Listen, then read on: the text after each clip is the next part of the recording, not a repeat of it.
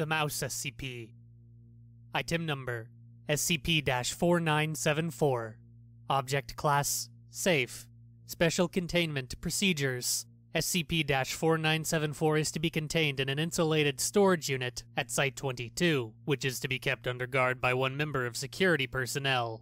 Any individuals performing testing or physical inspection of SCP 4974 must wear full body protective gear in order to prevent severe electrocution.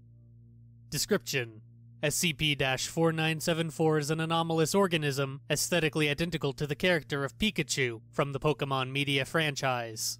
Despite appearing to be a rodent organism upon exterior examination, interior examination shows that SCP 4974's body contains no bones, muscles, or blood, instead being composed entirely of a bright yellow substance similar in consistency and texture to a sea sponge.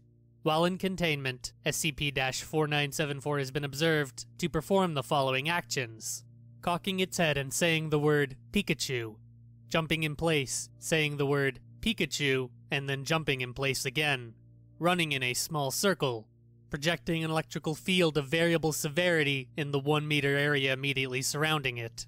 SCP 4974 has not been observed to move outside of performing these specific actions. Thus far, observation has shown no specific pattern to when SCP 4974 performs these actions, or in what order, and they do not appear to be responses to any specific stimuli. Furthermore, SCP 4974 has shown no signs of recognizing or even perceiving events that occur around it. For these reasons, it is currently unclear whether SCP 4974 is sapient or even possesses a consciousness at all.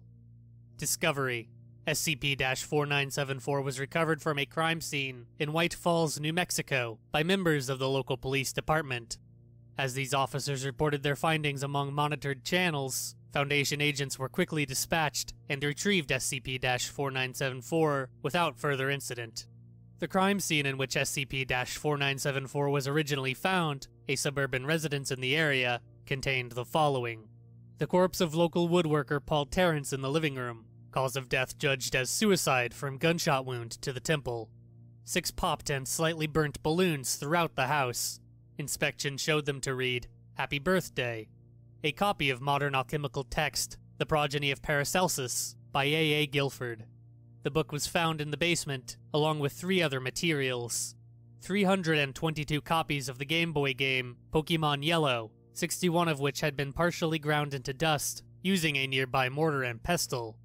Six Erlenmeyer flasks containing a compound composed of the previously mentioned dust, broken down sea sponge, and human semen. Footnote Analysis shows this material to originate from Paul Terrence. Three horse wombs, two of which contained objects resembling malformed and inactive instances of SCP 4974. The third was empty. The corpse of Paul Terrence's eight year old son, Adam Terrence, in his bedroom. Cause of death judged as cardiac arrest following exposure to an electrical current.